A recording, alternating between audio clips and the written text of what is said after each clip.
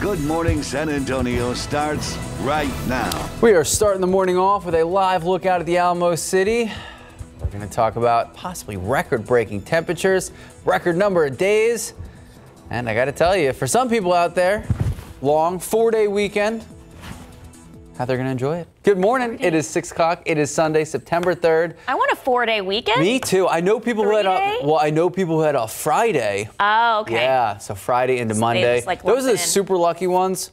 You know what? I would say we're unlucky because we have to work like the next 85 days. But, we like our job. Yeah. So big win. And part of the We're lucky we get to be here. So Sarah, I said record breaking. Are we breaking records? I mean, not as far as the high today, but as far as the number of 100 degree days, absolutely. Today's going to be our 67th 100 degree day in San Antonio. Outside right now it's 77 degrees, 76 in New Braunfels. Seguin, you're at 73. Boerne, 72 and 72 in Kerrville. A little bit warmer of a start today than what we had yesterday. That's just because there's a touch more humidity out there right now. As you look at the day today, high fire danger all day long. Around noon, we're going to be at 92, 100 for the high. Southeast winds at 5 to 15 miles per hour. So, yes, today will be our 67th 100 degree day. I'll have a more in depth look at your Labor Day forecast tomorrow. And we're going to take some time and look at some of our local rivers. Much, many of our local rivers have zero stream flow on what will be a big tubing day across the Comal and Guadalupe. I'll have those details ahead coming up in just a bit. Max. Thank you, Sarah. This morning, the Seguin Police Department is still working to figure out what exactly happened that ended in a shooting. Bless you. 24-year-old Isaac Mesa Jr. from New Braunfels behind bars this morning for shooting and killing someone. Officers say they found the 36-year-old victim with a gunshot wound. We're still waiting to learn that victim's name, but Mesa Jr. now being held in the Guadalupe County Jail while police continue to investigate, trying to figure out what exactly happened and why.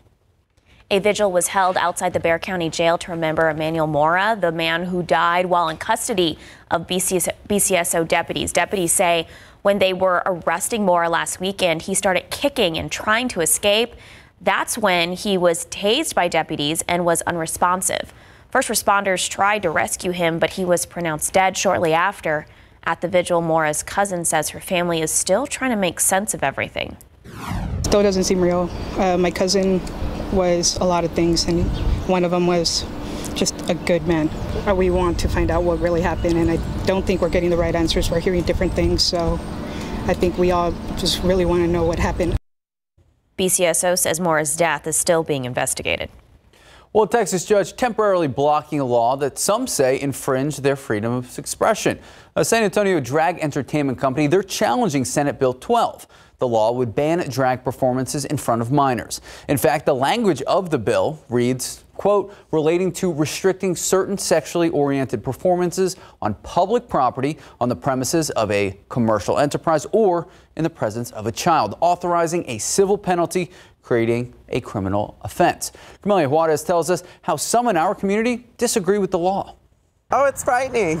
I miss when the worst things drag queens had to worry about was the rain or it being too hot. Drag queen Iridescent says she worries that her full face of makeup and pink suit could lead to criminal charges for performers like her and the places she performs. But if they saw us, I could be arrested or fined or become a felon just because I'm talking to you in front of a camera dressed in a suit that I made. San Antonio drag company 360 Queen Entertainment is challenging SB 12 alongside the American Civil Liberties Union, arguing the law would affect the drag company's ability to perform at Tomatillos, a family owned Mexican restaurant on the city's north side, because minors could see the show from the open patio. all you have to do is trust American parents to know what their children should or not should not be exposed to and allow them to make the decision for themselves. The ACLU argues SB 12 could impact more than drag. SB 12 is written in such an overly broad way that it could impact things like traveling theater shows, um, concerts, professional cheerleading, um, even something like a karaoke night. So it's quite dangerous in the way that it could lead to government censorship of many different forms of art. For Iridescent, expressing herself in heels helps her mental health. If I'm sad, I can do a sad song and make the audience cry with me. If I'm happy, I can do a happy song and get the audience to have fun with me. And it's cheaper than therapy. Iridescent says she's thankful a Texas judge temporarily blocked SB 12, but she's still nervous. I feel like we're on the edge of a cliff and we're holding on by a tiny little thread, and that we don't know if we're going to be saved right now. The Texas Attorney General's office is representing the state in this lawsuit. The AG's office says that this law was passed to protect children and uphold public decency. It'll be several weeks before a judge decides if this law will stay in place. Camelia Juarez, KSAT 12 News. There are a lot of new laws in the Texas books here especially after September 1st. So we have a lot of new laws, 774 of them. They include laws pertaining to schools, fentanyl, workplace violence, electric vehicle registration, and so much more. We have a list of some of the most notable ones that are now in effect. Just head to ksat.com. The mayor of Uvalde, Texas wants District Attorney Christina Mitchell to step down. That's according to a written statement linked to a lawsuit. Mayor Don McLaughlin claims Mitchell is blocking the city's investigation into the 2022 mass shooting at Robb Elementary School. McLaughlin said 15 months have passed since the incident and that, quote, our community deserves answers. Mitchell is in charge of the criminal investigation into the shooting, and she says she plans on presenting evidence to a grand jury before the end of the year. All right, Ken Paxton now speaking to members of his own party, calling for removal of Republican members that are supporting his impeachment. So here's the thing technically, he is under a gag order. That means he cannot discuss his impeachment trial. That trial begins on Tuesday. In remarks at a packed pavilion at a park near his North Texas home, the now suspended AG blasted the Texas House of Representatives that impeached him and talked about its leader, Speaker Dade Phelan. Now, Paxton ended his speech by saying, quote unquote, let's clean house. Well, if there is a bright side to this drought that we've been having, dinosaur tracks have been uncovered up in North Texas due to low water levels. They were found in Dinosaur Valley State Park in Glen Rose, which is located about an hour and a half south of Dallas. Paleontologists believe the tracks are from around 110 million years ago. They say the tracks are from a dinosaur that weighed up to 44 tons. Not only did low water levels cause these tracks to pop up, but it's also helping crews remove sediments, covering and filling those tracks. All right, time now 607, 77 degrees. And speaking of low water levels, I've got a look at some of the low water levels across rivers around San Antonio and south central Texas. Stream flow is at zero in many places. Details ahead. All right, good morning. Happy Sunday. Taking a live look out at the Alamo oh, look, City. an airplane. Seven. Yes, there are a lot of people traveling this weekend.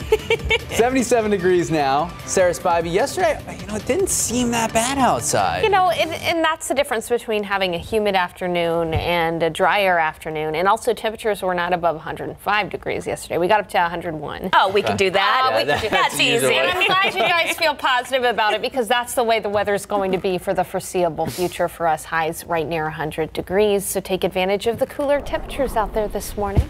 72 in Kerrville. Rock Springs, you're at 72 this morning, 76 in Del Rio, 76 in Cotulla. Good morning in New Braunfels, we're at 76 degrees, 73 in Pleasanton, 75 in Gonzales. In your KSAT 12 hour forecast, sunny skies. Temperatures climbing. You know the drill. 85 at 10, 92 at noon. We'll have a few cumulus clouds in the afternoon. Those Toy Story clouds that uh, kind of just look like cotton balls and don't produce any rain. That's the case this afternoon for us. 100 degrees. We'll southeast winds at about 5 to 15 miles per hour, so a little bit of a breeze at times. And here's a look at highs in your neighborhood. 99 in Kerrville. Canyon Lake, you'll be at 99 degrees. 99 in Hondo, 98 in Uvalde, 102 in Del Rio, 100 in Cotulla. 100 in Pleasanton, and 99 in Beeville. All right, take a look at the drought across Texas. 76% of the state is in drought. Exceptional drought extending around San Antonio out to East Texas and the coast. Let's take a closer view around South Central Texas. Absolutely no soil moisture for areas in San Antonio, New Braunfels, Bandera, Kerrville, Fredericksburg. This long period of extended drought has really done a number on our local rivers. Take a look at stream flows at some of our local rivers. The Nueces River below Uvalde, zero stream flow. Doesn't mean there's not any water in the Nueces River. It's just not flowing and so you get bacteria buildup, things like that. As for the Frio near uh, Concan, we're talking inches a second. That's how slow the river is flowing, the Frio River near Concan. A lot of people float on the river out there, and it is uh, pretty dangerous with the uh, bacteria is starting to build up there. As for the Medina River near Lacoste, zero stream flow there. The Guadalupe River near Spring Branch, zero stream flow there as well. And a lot of people are going to be heading out to New Braunfels today to float the Comal. Go ahead and support the businesses out there, absolutely. But the Comal is very, very slow. We're only talking about 70 cubic feet per second when the median flow is usually about 200 cubic feet per second. To put that in perspective, floating the Comal Comal may only take usually like an hour and a half to an hour and 45 minutes. Now it's taking closer to three and a half to four hours to float the Comal. So if you're planning on tubing today, plan for a slow and slow float and a lot of people out there today. And unfortunately, no rain chances for us over the next several days. Rain chances are practically zero. And because the ground is so dry, reminder that fire danger remains high this Labor Day weekend. No campfires or burn piles. Avoid using tools that create sparks. Dispose of cigarettes properly. Do not drag trailer chains and do not park your vehicles on the grass. Again, fire danger high through tomorrow as well. Labor Day is going to be very similar to today. Waking up tomorrow at 76 degrees, 100 for the high quiet weather for any kind of activities outside, and you're going to want to make sure to use that sunscreen as there will be plenty of sunshine. 101 on Tuesday, 100 on Wednesday and Thursday, 101 Friday and Saturday. Today is an ozone action day as well. I'll have a look at the forecast air quality and what that means coming up in a bit. And in the next half hour, we're going to talk about the extended forecast, even beyond this week. What can we expect? I hope you'll stick around for that. Thanks, Sarah. Thank you, Sarah. All right, just about 6:15, 77 degrees. And just as Sarah just mentioned, it's been a hot summer. Businesses around San Antonio think so as well. We're going to hear from a business owner that is having a hard time staying open because of the heat. Good morning and welcome back. So Labor Day weekend usually marks the unofficial end of the summer season. And with record heat, some businesses say this is a summer they want to forget. Avery Everett sitting down with the owners of an outdoor gelato shop struggling to keep their doors open. She also asked CPS Energy about expectations for the fall. All right, ladies. To Isaac Butler, you're going to be really happy with okay. that pistachio. It is fantastic. Labor Day weekend couldn't come any sooner. I would say, uh, as far as this summer goes, we we'll, we'll be happy to see it in the rearview mirror. He and Ivet Gray own the Helotes shop Congelato, and summer 2023 has come with many struggles. It can be really disheartening. Uh, to be quite honest, uh, I take a lot of pride in the shop. With the hottest summer on record in San Antonio, so many outdoor businesses and plazas are sitting empty. But as the fall starts to come soon, CPS Energy is still warning that there might be concerns with the energy grid. We just got to build more capacity. Just two weeks ago, CPS Energy sounded the alarm about the potential of controlled energy outages. San Antonio and Bexar County officials also warned of ongoing concerns about the ERCOT grid in the summer heat. Until we get the, the, the scale that we need to completely, you know, do away with this issue, you know, I mean, next summer will not be much different than this summer, depending upon what happens at the state levels. So you're kind of wondering how long does this heat last? The Congelato team is ending this summer with high energy bills and one freezer damaged by the heat. When it's 105, it, it doesn't feel like it's special. Both hoping this Labor Day is not their last. We'll never know what this summer cost us. Uh, I just hope that if um, that we can be here to fight another summer. That day two weeks ago when CPS Energy warned of those controlled outages, I wanted to see if it worked. Now CPS Energy tells me they weren't able to track exactly how many households turned down their energy usage, but within their conservation program, they were able to save enough energy to power 46,000 homes. I'm Avery Everett, KSAT 12 News. Well, I know at home I uh-huh. keep mine at 78, and, okay. and, you know it's a little Wait, warm. when you're there, or when you're out of the home? No, when I'm there. Okay. Because um, I don't, I don't like seeing a high bill. But if you have an ice cream shop, you can't mm, keep it at 78. I mean, to keep the refrigeration system running. So I wonder how low they have to keep it. I'm sure their bill is not. No, low. I think uh, air conditioning bills for so many small businesses it hurts your margins. Yeah. All right. Time now, 620, 76 degrees. More updates on the way for X. so weird. Of course, we're talking about formerly known as Twitter and some news from Apple. That's in your consumer news. That's up next.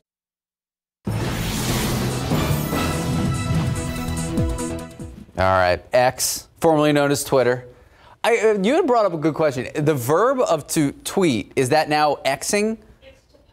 To post? That's less exciting. Oh, no one wants to just All right, so post. X just updated its privacy policy. That means users will have more personal information exposed on the site. The company says it may start collecting and using, quote, biometric information for safety, security, and identification purposes. Doing so says it will actually help fight impersonation attempts. X also says it may start collecting users' employment and education history, suggesting potential job openings or further target users with advertising. So this is multifaceted.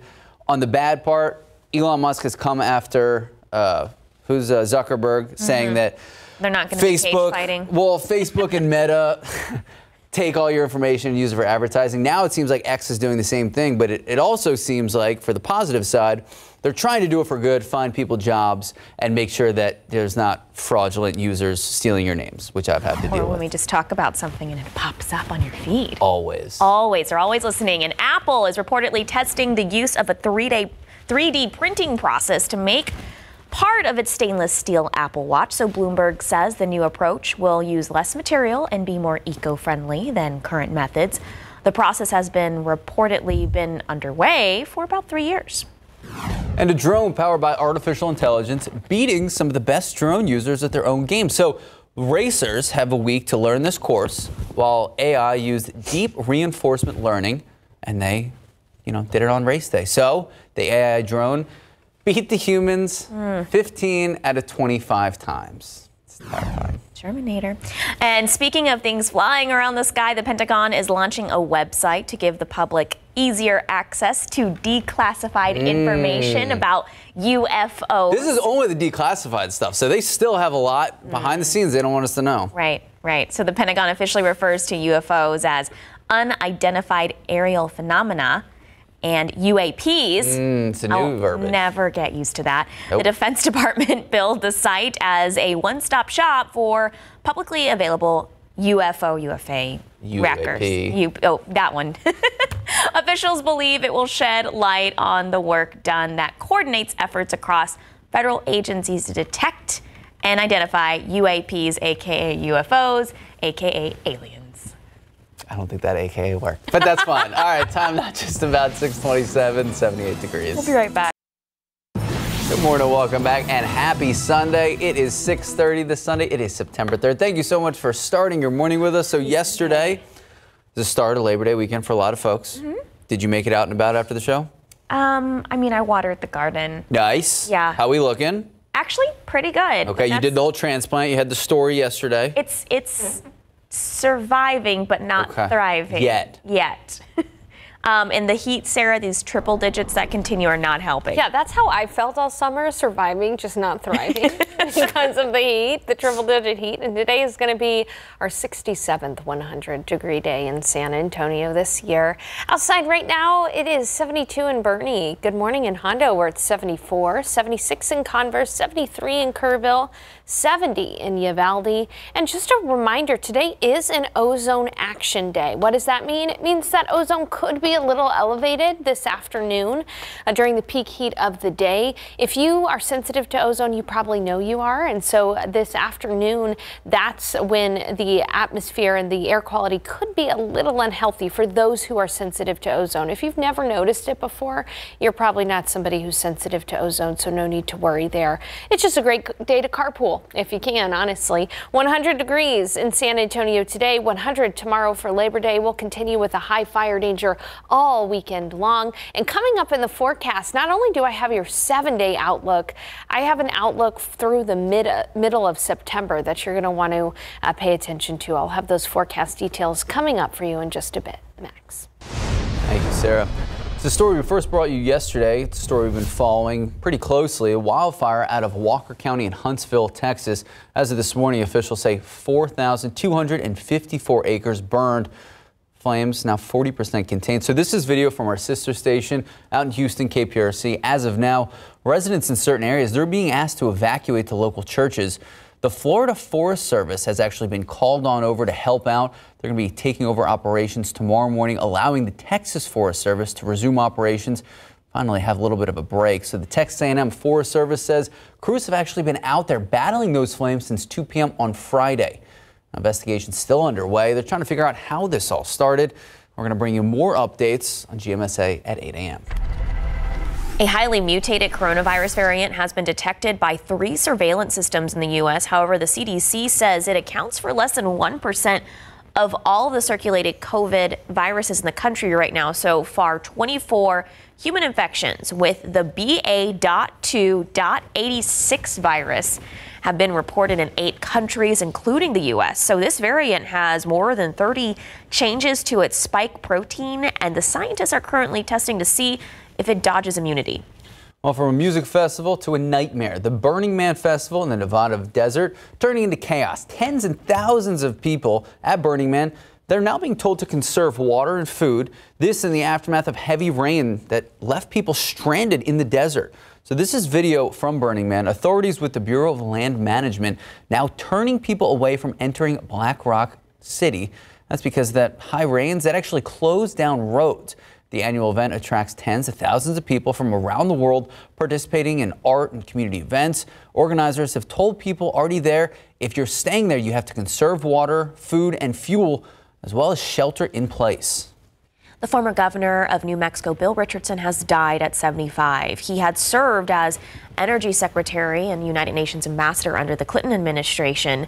He was elected governor in 2002 and served two terms. His namesake center had privately worked on behalf of families of detainees and hostages. He traveled to Russia last year and held meetings with Russian leadership to discuss the release of basketball star Brittney Griner and former U.S. Marine Paul Whelan. He most recently was working with the family of Travis King to try to get the soldier out of North Korea. Well, SAG AFTRA, the Screen Actors Guild, American Federation of Television and Radio Artists, bless you. They've already been on strike against major TV and film companies. And now they may have a second walkout in the works. So this one against major video game companies. The union announcing it'll seek authorization from the members to strike against several video game makers ahead of negotiations that are scheduled to resume later this month.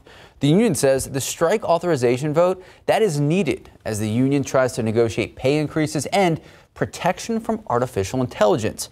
The union is asking for an 11% increase for those who participate in video games.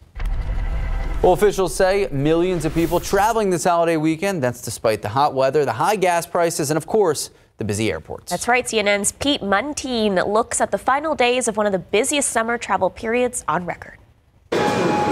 It is a climactic end to a record breaking summer of travel, with a new survey saying more than half of all Americans expect to travel for Labor Day. At Chicago O'Hare, officials are bracing for a 7% increase in passengers compared to the holiday weekend last year. The TSA says after this weekend, this summer will set a new air travel record with more than 227 million people screened at airports since Memorial Day. Transportation Secretary Pete Buttigieg says flight cancellations are going down, but the latest numbers from FlightAware show it is delays that have increased. This summer, more than 25% of flights arrived late by an average of 57 minutes. This year, we have seen significant improvement. That doesn't mean that the system was immune from some tough travel days this year and this summer.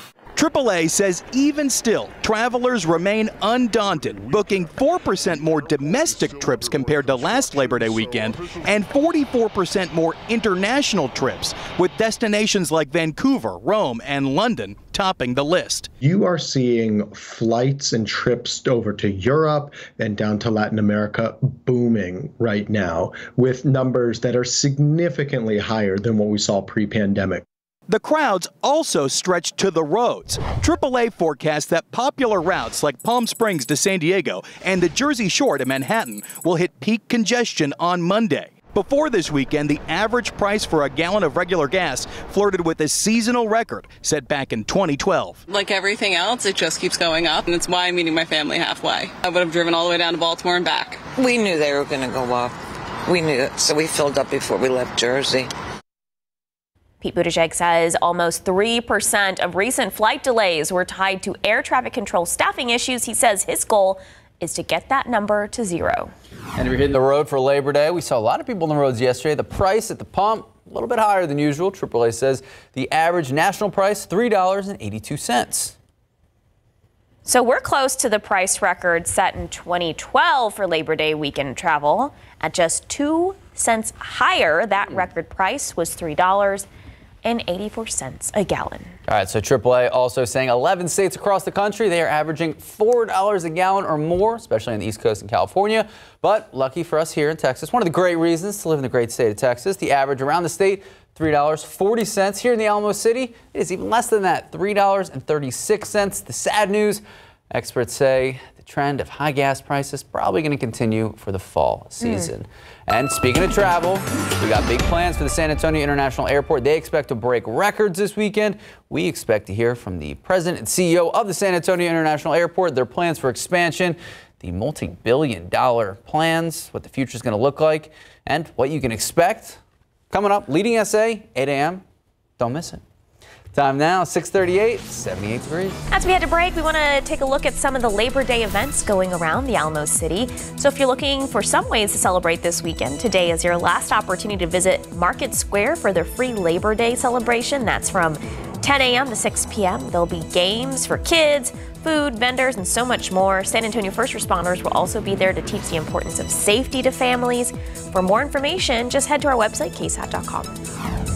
And tomorrow, the South Texas Blood and Tissue Center, they're hosting a Labor Day blood drive in an effort to help against blood shortages. They're also honoring Childhood Cancer Awareness Month.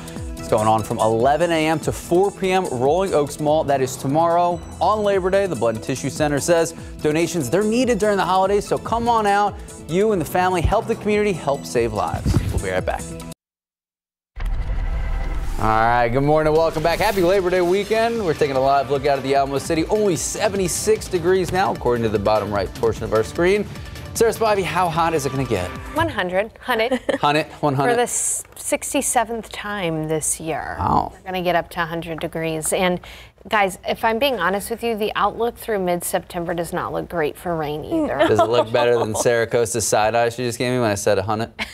Uh, yeah, probably. Okay, that's fair. Because that's a pretty cold yeah. side. Oh, I see what you did there. All right, let's go ahead and take a look outside with temperatures right now this morning. 70 in Rock Springs, 73 Kerrville, New Braunfels, you're at 76. Good morning in Uvalde at 69 degrees, 76 in Del Rio, 76 in Cotulla, and 73 in Pleasanton. Humidity is a little higher than it was to start the day yesterday. Dew points in the upper 60s, low 70s. So you're definitely going to feel the humidity as you step outside early this morning compared to uh, yesterday. Different story out in Del Rio, Rock Springs, where the humidity is pleasantly low. But as you look at today's dew point forecast or the forecast for the humidity, it is going to come down in the afternoon. So right when we're the hottest, it's going to be the driest. That's good news. That means no heat index value.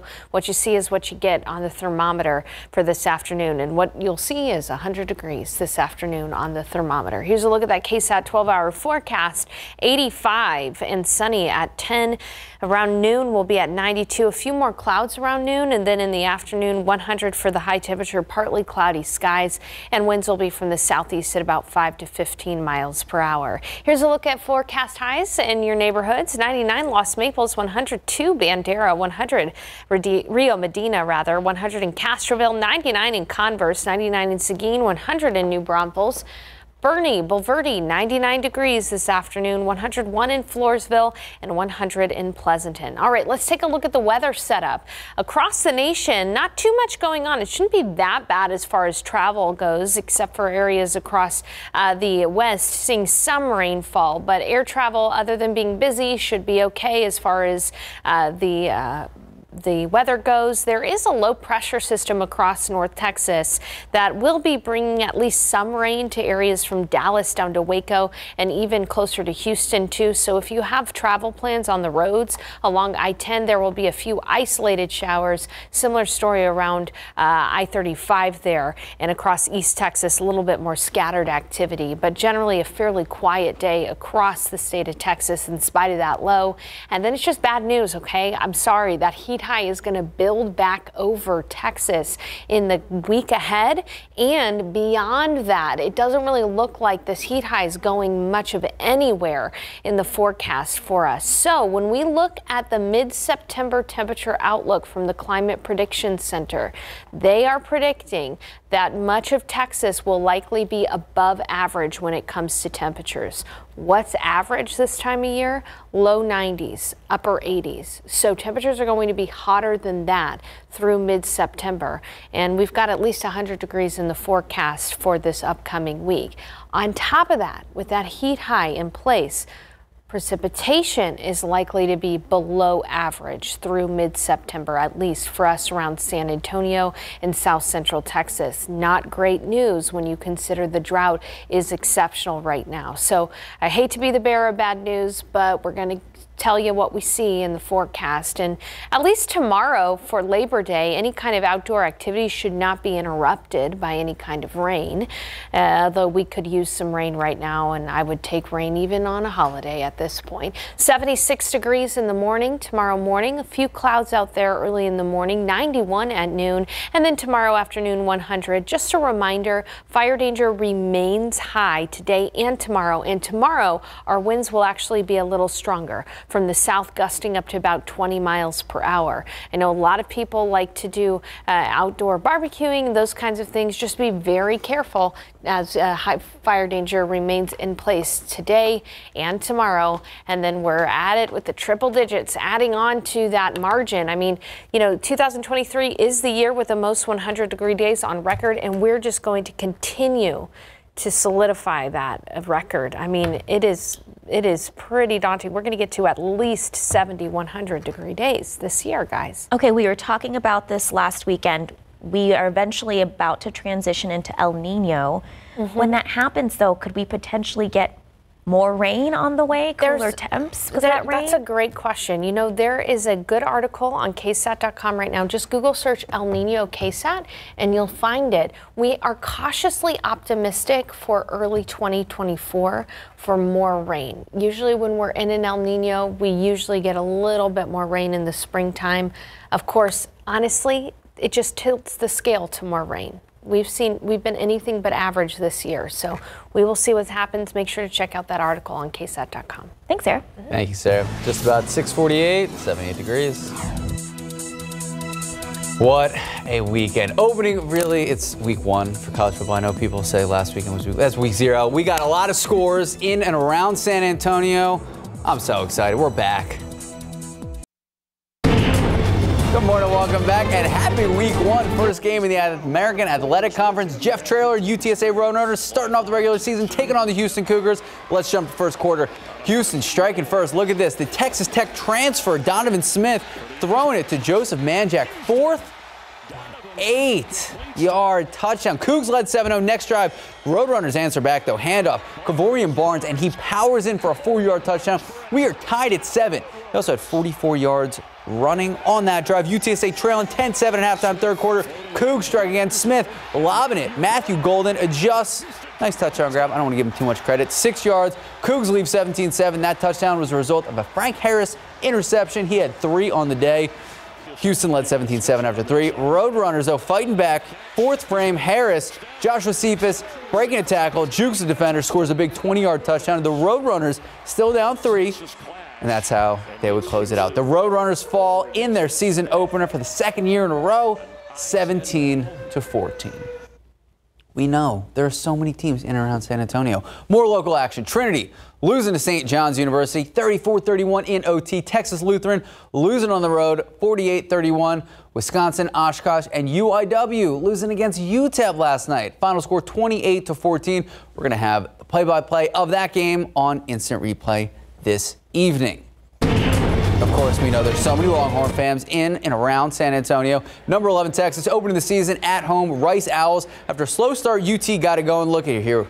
Whew, first quarter. Quinn Ewers taking the shot. Initially rolls left, turns around, screen past Jonathan Brooks, and he goes all the way. 37-yard touchdown. The Horns led 7-3. They were up 16-3 at halftime.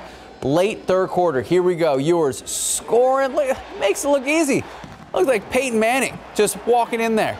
Texas opens up the season 37-10 win. Next week they're taking on, ooh, Bama, number four in the nation. Here we go. Second favorite.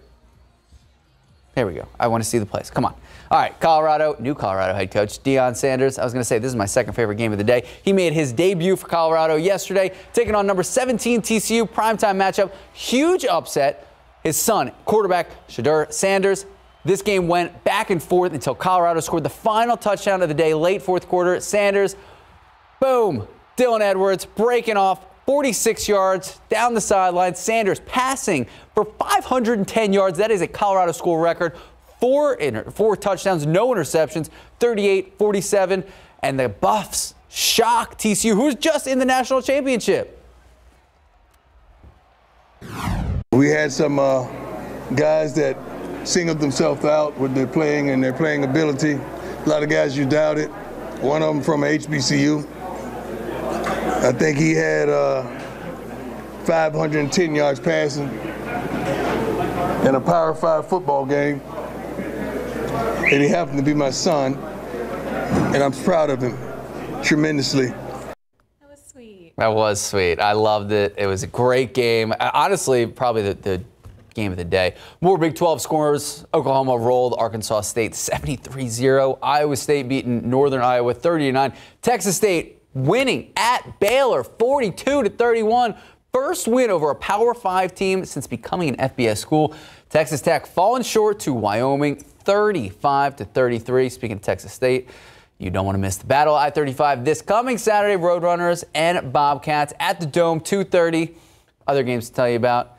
K-State shut out Southeast Missouri State 45-0 and Oklahoma State beat Central Arkansas 27 to 13. Of course, we know we got the Aggie fans. You want to? There we go. Uh, shout out to Texas A&M, really, you know, starting off strong, 52 to 10. Some people would say it's just New Mexico, but you can only beat who's in front of you. So big shouts to the Aggies, starting off strong. I know a lot of people have a lot of hope for this young team this year. And hey, they're already the number 23 team in the nation. Lastly, shout out to my squad, Penn State. Is this your doing that? No, it is not. It was actually a surprise. But here we go. Oh! Start off with a loose squirrel on the field. It's a big squirrel. I, What are they feeding Go big or go Penn home. State. All right, Penn State hosting West Virginia. Drew Allar shining. First game as a Penn State starting quarterback, 21 to 29, finishing with 325 yards passing, three touchdowns, and no interceptions. Allar and wide receiver Keandre Lambert Smith proved to be a strong connection. 72 yard touchdown right there. That was the opening possession of the game, the longest pass of Allar's career, young career. Lambert Smith tallied 123 yards, career best, two touchdown grabs, four catches. Penn State decimating 38 to 15. So what a great start to the season. I want to go back to the Colorado game. Deion Sanders giving all the love to his son, rightfully so. School record, first game Right. coming from HBCU, but also Travis Hunter, who basically did what Deion Sanders used to do, played on both sides of the ball, playing pretty much the entire game. You know, that's the one game I was like, I was cleaning and I was listening to because my Uh-huh. husband was watching it. And I was like, these guys, the commentators were pumped Oh yeah, about that It was exciting because Yeah. remember TCU was in the national championship last year. Yep. And I'm pretty sure Colorado only won one game last year. So just to see the As juxtaposition an SMU girl, I am not upset that TCU lost. There you go. All right, time now 6:56, 76 degrees. We'll be right back. Alrighty, today's forecast 85 at 10, 92 at noon, high fire danger today, 100 degrees for the high. Looking at your seven day forecast, 100 tomorrow for Labor Day, and guess what? Triple digits in the full forecast for the first full week of September. It's going to be very difficult for us to shake this weather pattern through mid September at least, unfortunately. That's rough. Yeah, guys, it is, it is, but you know, we'll let you know as soon as that changes. Don't go anywhere. We're gonna take an hour long break for GMA. I'll see you back here at 8. See y'all at 8. Live from KSAT 12. Good Morning San Antonio starts right now. The Texas A&M Forest Service says crews have been battling flames in Walker County since 2:30 Friday afternoon. This morning, still only 40% of that fire is contained. What's being done now as it continues to grow rapidly? I came in for a couple days and enjoyed the river walk, and now I'm heading back. And we spoke with some travelers at the San Antonio International Airport about their travel plans through the weekend. And in today's Leading SA, we're talking to the president and CEO of the airport about the latest numbers and the big renovations. Taking a look outside, 76. It's going to be another warm day for this Sunday of our Labor Day weekend. Sarah Spivey has our holiday forecast for you. All right, time now, just about 8.01. It is 76 degrees. Thank you so much for starting your morning with us. Good morning. Happy we know Sunday. so many people sleeping through. We had some people comment on our photos yesterday. Shout out to Instagram and uh, Oh, what did they say? They were like, nice? oh, they're always very nice. Oh, thank, thanks, guys. Yeah, but they, they were funny. They were like, oh, we missed you. We slept in because of Labor Day weekend. And I was like, oh, don't worry. We have a free app. you can stream right now, our KSAT Plus app. And. I'm not jealous of those Mm. sleeping in at all. At all. Not jealous at all. Temperatures this morning are generally in the low to mid 70s out there. It's 77 at the airport. Clear skies too. 75 New Braunfels, 72 in Seguin, 70 in Boerne, and 72 in Kerrville. Here's your Sunday forecast. We're going to be sunny today. 85 degrees at 10, 92 at noon, 100 for the high. Southeast winds today, a little breezy at times, 5 to 15 miles per hour. And a reminder that fire danger does remain high today as you're out and about enjoying those outdoor activities. Let's take a moment to remember that that fire danger is high. Coming up in the forecast, we're going to talk about how today is our 67th 100 degree day. I'll give you a preview of Labor Day, get you ready for the holiday itself. And then finally, a lot of people are out and about, maybe wanting to enjoy some time on local lakes, local rivers. I'm going to show you a lot of the local rivers with zero stream flow and how long tubing is now taking on the Comal and New Braunfels. Those details ahead. Max, Sarah. Thank you, Sarah. So we've been following the wildfire out in Walker County in Huntsville. As of this morning, officials say 4,254 acres have burned, and it's only about 40% contained. This is a video from our sister station out in Houston, KPRC. As of now, residents in certain areas, they're even being asked to evacuate to local churches. The Florida Forest Service, they've been called out to help. They're actually going to take over operations tomorrow morning, allowing the Texas Forest Service to resume operations and get a break. The Texas A&M Forest Service says crews have actually been battling these flames since 2 p.m. on Friday. Right now, investigators still working, trying to figure out how this all happened. We now know a 60, 61 year old man died after he was hit by a driver on the city's northwest side. This happened on Friday in the evening near Fredericksburg Road. Police say the man was walking within a crosswalk when a driver in a Mustang hit him at that intersection. The driver did stop to render aid. It's not expected to face any charges. An ID of the victim has not been released at this time. And a shooting investigation now underway after a 19 year old showed up to the hospital with a gunshot wound. San Antonio police tell us the victim taken to the hospital Friday evening told police he was shot while walking to his car at a friend's house. His mom took him to the hospital. Police later found out the teen was not telling the truth about who actually took him. Investigators could not even find the crime scene. They're still working, trying to figure out what exactly happened and why. It is Labor Day weekend. That means a lot of people traveling. So what can our airport expect in terms of traffic? And what can we expect with the multi-billion dollar renovation? That is why Jesus Saenz, director of the San Antonio International Airport, joined us for this weekend's Leading SA. All right, Mr. Saenz, thank you so much for joining me today. So, right off the bat, what does the expansion of the airport, what does that mean not only for people coming to and going to other places from San Antonio, but also our local economy? Well, I think it's a mixture of, of impacts that it's going to have on the overall city of San Antonio. First and form, foremost, absolutely, it will be a large economic impact to the city, uh, being able to provide an expansion and being able to provide additional capacity as it relates to more gates uh, to the overall airport complex. Um, right now, we're, we're scheduled for, for adding up to 17 gates to the existing footprint, and that really starts to prepare ourselves for the future. I think it'll be an enormous impact when you start to look at you know, a transformation of the existing facility and the the ability to be able to provide a better product and a better level of service for the people that you know come in and out. What does the timetable look like? Yeah, I mean it's a it's not easy to get these up off the ground. Um, I think we've have a very aggressive schedule when you look at the foundation that was established and set in order for us to be able to execute on a program of this size. Um, now that we've done that, we have finished a lot of that, you know, planning, and and now we're right in the middle of design. You know, we have 10% of the terminal, you know, uh, expansion design. We want to aggressively get to 30, 40% between now and, and next year, uh, at this time next year. So as we do that, then we can really start to put shovels in the ground and begin to focus on, you know, construction over the next three years, you know, from 24 to early 2028. You know, we want to be completed with this and uh, present and showcase the new airport to the entire world. All right, so 2028 is the ultimate goal. What will you know, flyers, customers, what will we experience in that time period in between? Is it is it going to be chaos at the airport while construction's undergoing? Well, we're really fortunate in the fact that you know we still have Terminal A and Terminal B that will will continue to operate the way they do today.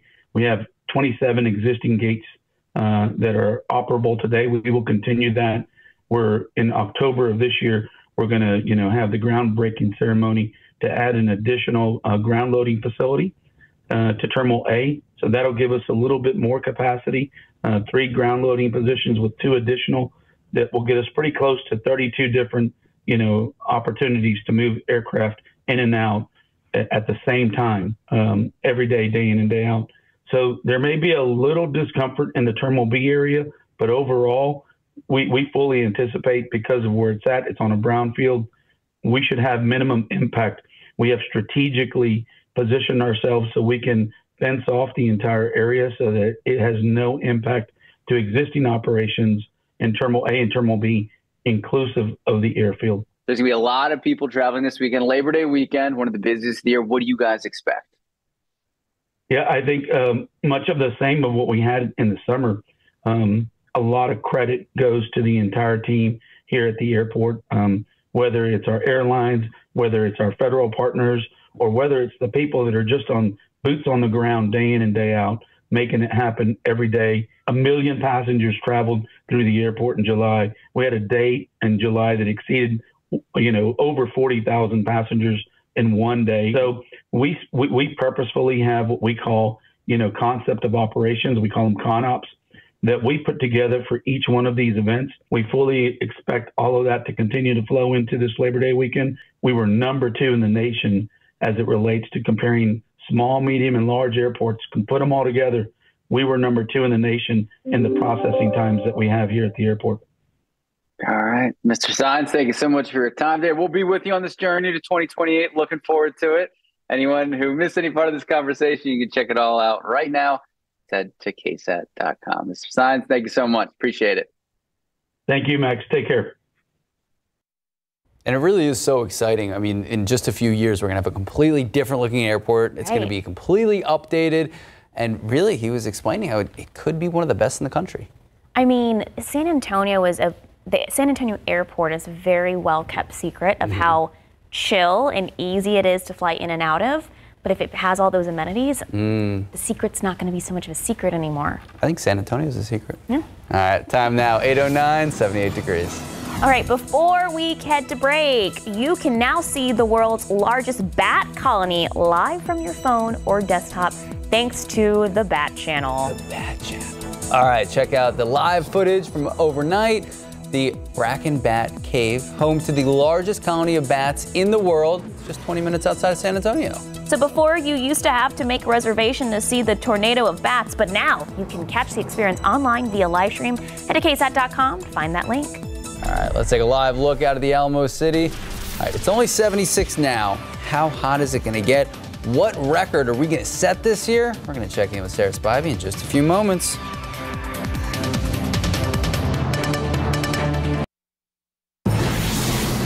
Morning and welcome back. So happening tomorrow, the South Texas Blood and Tissue Center, they're hosting a Labor Day blood drive.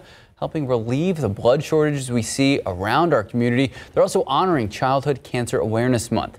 It's going 11 a.m. to 4 p.m. This all happening at Rolling Oaks Mall. The Blood and Tissue Center says donations are needed all the time, but especially during the holidays, especially when the community sees a rise in emergencies. I got to say, we've both donated blood before. It is quick, it is easy. You show up, you're out of there within 40 minutes. Very comfortable. They Yeah. make you very comfortable. It's very cool, hmm cold in there. I even needed a, a warm blanket. Yeah, that's one reason to give blood, right? You can ex- escape the heat, right? Uh, speaking of the heat, everybody's feeling it, not only us, but also Mother Nature. And take a look at this picture sent in through KSAT Connect. Yeah, just a reminder that whenever we're dry, snakes come out Oh. to try to uh, Is get some water. Is that a rattlesnake? I think it is. I Or think is it's a it- diamondback. If I yeah, Oh, diamondback. It's a diamondback rattlesnake. terrifying. I know. So just be aware of your surroundings today. Everybody's looking for water across the state of Texas. Uh, temperatures are going to be near 100 degrees. Here's a look at the current drought monitor across the state. Exceptional drought has extended all along that I-35 corridor up to Waco, and then also out across parts of East Texas and Southeast Texas nearer to Houston. It's no exception here. We are uh, part of the nation, part of the country rather, that's under the worst drought. In fact, there's very little to no soil moisture anywhere you see this exceptional drought from San Antonio to Bandera to Kerrville to Fredericksburg to Blanco, San Marcos and Austin. And so recreationally, a lot of people are going to want to enjoy some time on local rivers, particularly the Comal and the Guadalupe and New Braunfels. So I thought for a moment we would check in with our local rivers, and it is not a pretty picture. There is zero stream flow on the Nueces below Uvalde. Now, that doesn't mean there's no water in that river. It's just not flowing, which means that bacteria can build and it actually can become a health hazard to swim in rivers with zero stream flow. Practically zero stream flow for the Frio near Concan, zero stream flow in the Medina River near Lacoste, zero stream flow in the Guadalupe at Spring Branch north of Canyon Lake. And then for the Comal, now go out and support the local businesses. Absolutely, they need your help. Here's the thing stream flow is slow on the Comal. So, what normally takes like an hour and a half, an hour and 45 to float, now is taking closer to three and a half to four hours to float the Comal because of that low and slow flow. And unfortunately, in the forecast, there is no chance for rain and certainly no chance for beneficial rain over the next several days around San Antonio. We are starting September sizzling and dry. So just a reminder that fire danger is also high. There's a lot of dry fuel out there. It's a holiday weekend, so some friendly reminders. No campfires or burn piles. Avoid using tools that create sparks.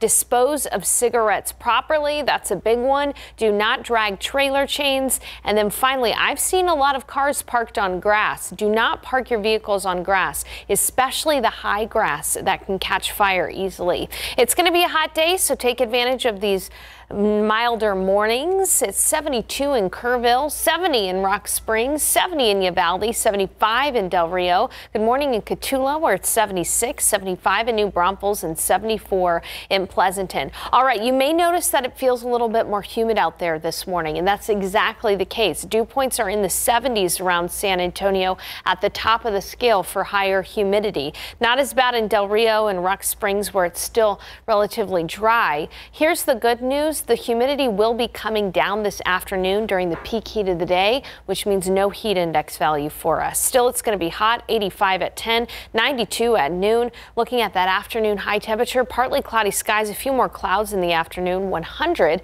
We're going to have southeast winds at about 5 to 15 miles per hour. It's going to be a mild night, still 90 degrees at 9 p.m. Looking at neighborhood high temperatures today, 99 in Kerrville, 102 in Del Rio, 100 in Gonzales, 100 in Pleasanton, 98 in Uvalde, 97 in Rock Springs. Look at that forecast. Triple digits every single day, including tomorrow for the holiday itself.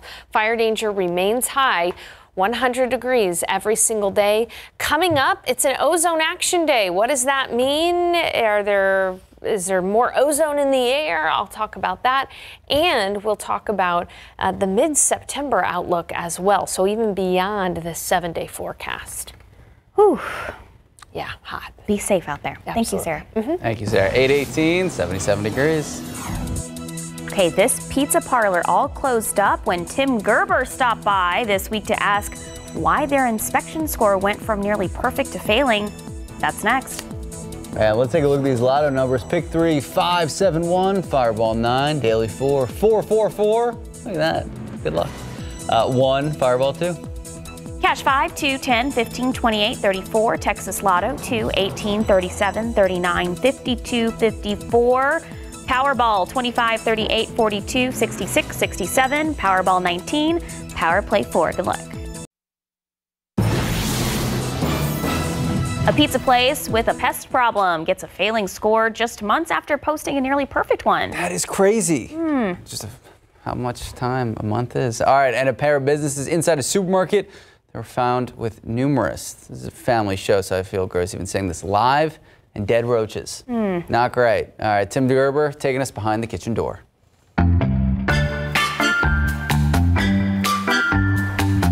24th Street Pizza, located in the 900 block of 24th Street, failed its July inspection. The inspector giving them a 69, a 30 point drop off from the 99 they got back in March. The cold hold was too warm. Several items were condemned. They also had to toss out white moldy tomatoes. Raw chicken was sitting above non raw foods. Bleach was stored on top of a fridge.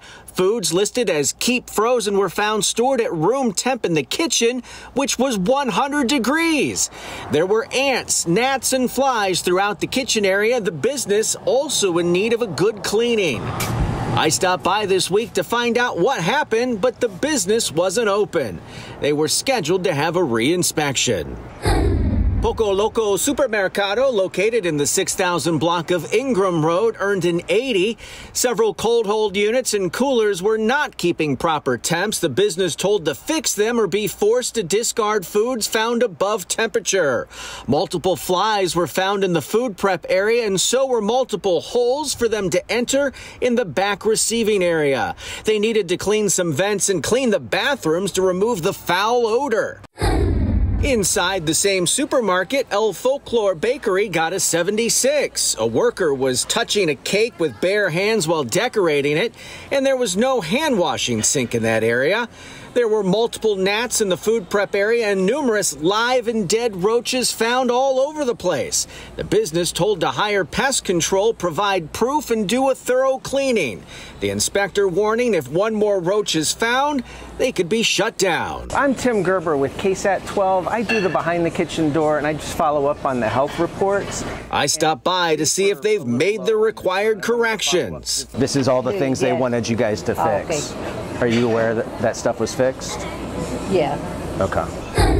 Maya Cafe is located right next to the bakery. They too had a problem with roaches. The inspector gave them an 82. A manager told me over the phone they've made the corrections and continue to deal with the pests. Did you guys hire the pest control services? Say that again? We have a different company already, so we fix that. For Behind the Kitchen Door, I'm Tim Gerber, KSAT 12 News. Really makes you think about where you go Really does. For brunch. Mm-hmm. Yep. And I'm not invited. Time now, 825, 78 degrees. You're always invited to brunch. You Doesn't just always like say no, Max. All right, speaking of local businesses trying to stay open, after recent record heat, what CPS is now saying about what we can expect in the fall.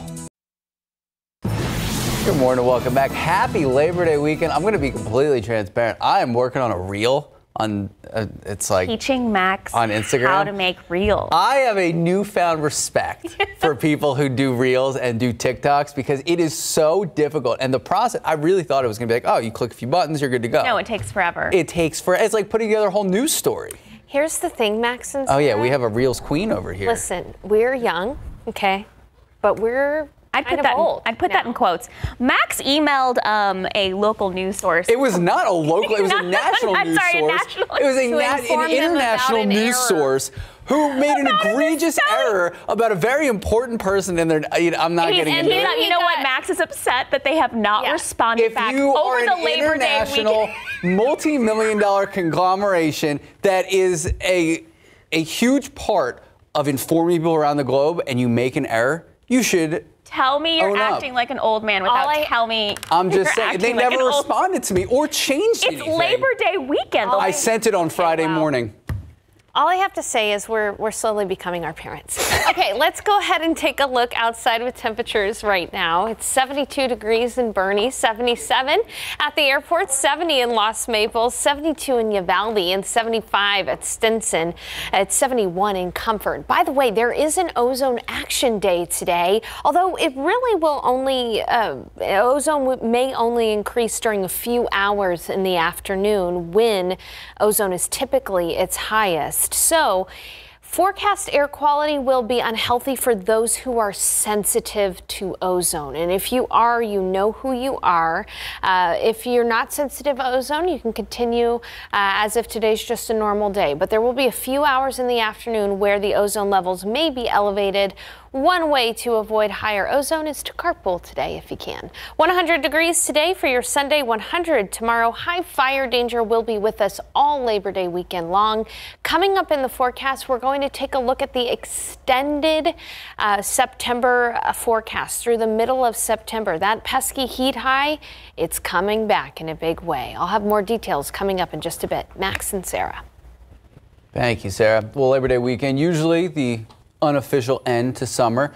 With this record heat, some businesses in and around San Antonio, they are hoping summer ends as soon as possible. It's been a cruel summer. Our Avery Everett sat down with the owners of an outdoor gelato shop struggling to keep their doors open. She also asked CPS Energy about their expectations for the fall. All right, ladies.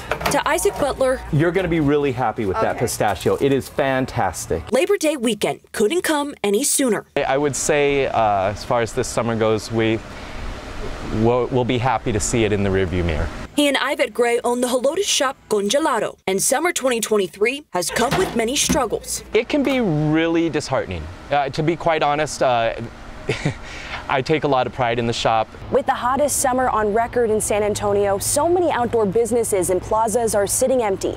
But as the fall starts to come soon, CPS Energy is still warning that there might be concerns with the energy grid. We just got to build more capacity. Just two weeks ago, CPS Energy sounded the alarm about the potential of controlled energy outages. San Antonio and Bexar County officials also warned of ongoing concerns about the ERCOT grid in the summer heat. Until we get the, the the scale that we need to completely get- you know do away with this issue, you know, I mean next summer will not be much different than this summer depending upon what happens at the state levels. So you're kind of wondering how long does this heat last? The Congelato team is ending this summer with high energy bills and one freezer damaged by the heat. When it's 105, it, it doesn't feel like it's special. Both hoping this Labor Day is not their last. We'll never know what this summer cost us.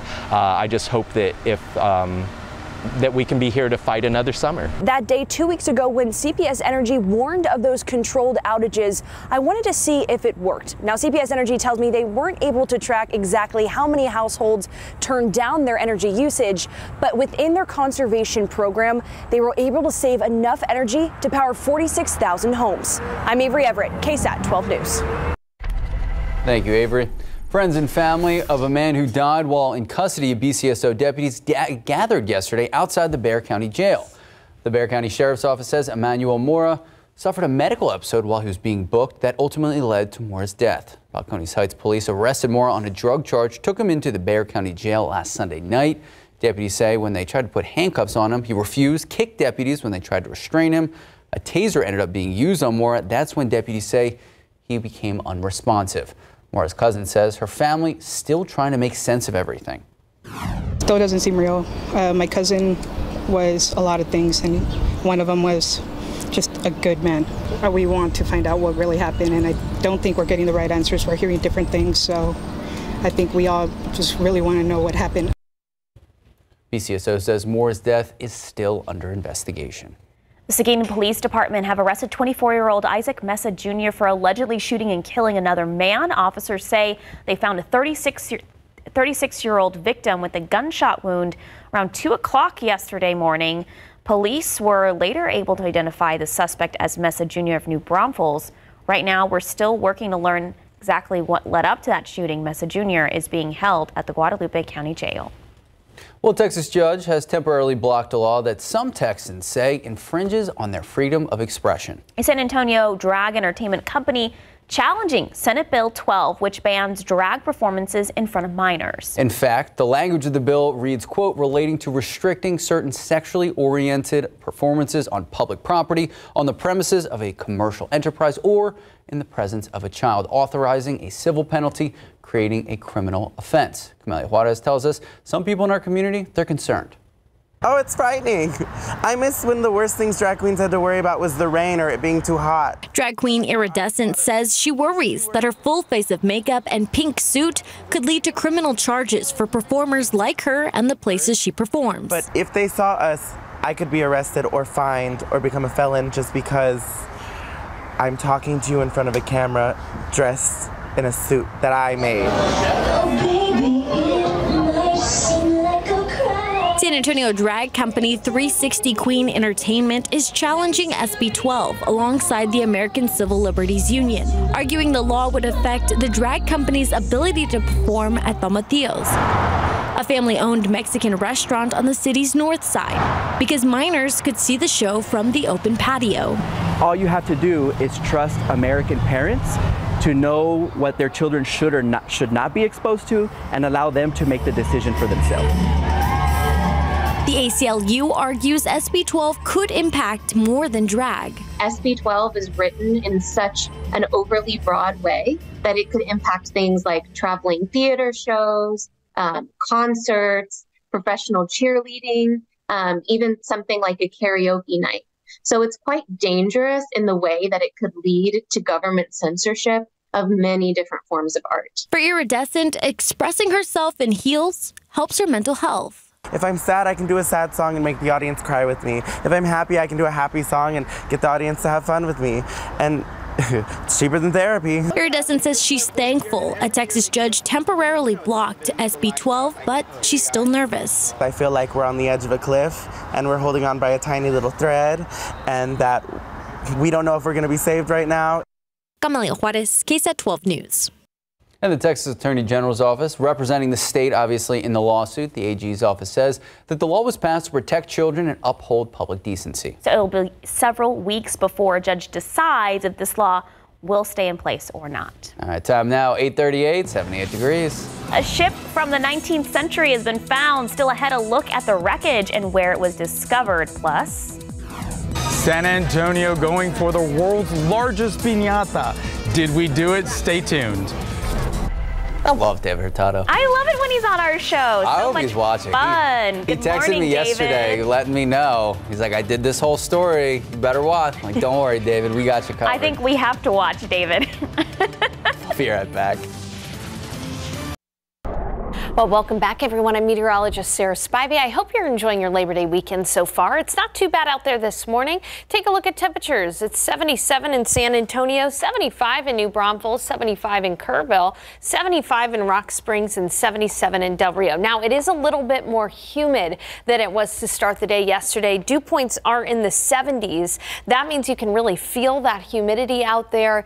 Uh, it's oppressively humid, but here's the good news. As we head into the afternoon, the hottest part of the day, our humidity is going to come down. Dew points are going to be in the 50s, which is pretty pleasant. So even though we're going to be near 100 degrees, it's not going to feel much hotter than that. So that is good news. Here's your KSAT 12 hour forecast. Sunny skies out there right now, 85 at 10. A little bit of clouds by noon when it's going to be 92. Then partly cloudy skies in the afternoon, 100 for the high. Today will be our 67th 100 degree day in San Antonio. And it really won't cool down all that much this evening. Temperatures are still going to be in the 90s by 8, 9 o'clock tonight. So take a look at your neighborhoods. This is how hot it's going to be around South Central Texas and San Antonio. It's going to be 99 in Kerrville, 99 in Hondo, 101 in Floresville, 99 in Seguin and in Converse, 100 in New Braunfels. Uvalde, you'll be at 99 degrees, 101 in Nixon Smiley today. As we take a look at the weather setup across the nation, some flooding ongoing across parts of the desert. Uh, southwest and up toward Nevada. But here in Texas, we are seeing a very small low pressure system. But as you can see, there's not much rain around this low. And really, if you're traveling across the state, you may run into a couple of isolated showers as you're heading toward Houston or up toward Dallas. But generally, it's going to stay pretty quiet. And then that heat high, that bully that just really sat overhead uh, over throughout summer is going to continue to move into Texas throughout this week. So that means dry and it means hot too. And even beyond this first week of September, it's looking pretty, pretty hot through the middle of September. We'll have above average temperatures or a good chance for above average temperatures from the Climate Prediction Center all throughout Texas through mid September.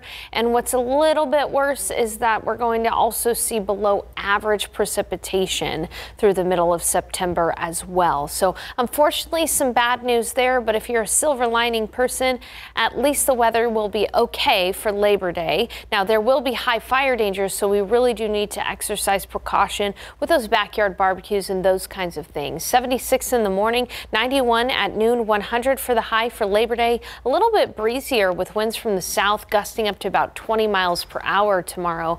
That will certainly not help the high fire danger. And then triple digits for us all week long. We're going to be looking at highs near 100 uh, through the week ahead.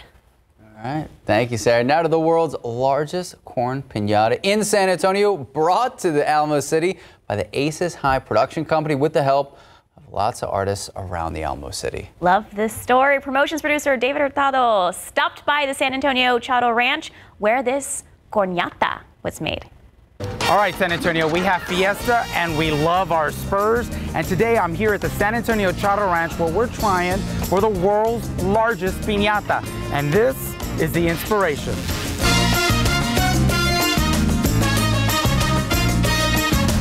All right, I am here with Tamra, who is the producer of the world's largest piñata here at the San Antonio Charro Ranch. All right, Tamara, what's going on here today? Big things, very, very big things. We are working with an amazing group of creatives here in San Antonio to create and construct the world's largest pinata. It will be over 10 stories tall. I want to go step by step. I mean, I'm looking at the pieces back there getting put together. It is quite an undertaking. Over the past several months, we've been working with Masa Collective to help us design, fabricate these pieces and parts, and bring it to life in a way that was going to be really amazing, beat the world record, and safe. Now I'm here with Ruby, who is with Masa Collective, one of the three entities that are working on this world's largest piñata. Ruby, tell me about the creative behind such a project. It's been crazy. We have a great team. We have uh, one of the, I think, the greatest artists in San Antonio, which is Rudy Herrera, who came up with this design of giant elote for San Antonio. Once you have it put together, obviously it's going to come back down, which is unfortunate. And is that it? That's done? We're done? It, It's going to be up for at least right now two, three hours so that everybody can look at it, so that, you know, they can measure it. And then after that, it has to come down because it's not made to stay permanently up.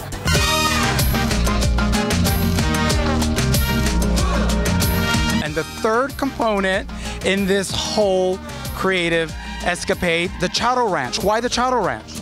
You know, I had never heard of them until I started doing some research. And once I started to look into their history and their legacy here, we're talking fourth generation Charro performers, I was blown away. And they just won the Texas State Championship. So for me, it was done. This is where we have to bring this to life. We've got Mundo and Annika here with the San Antonio Charro Association, the oldest Charro Association in the United States, and now the home or the brief home of the world's largest piñata here in San Antonio, the Cornata, right, Mundo? Yep.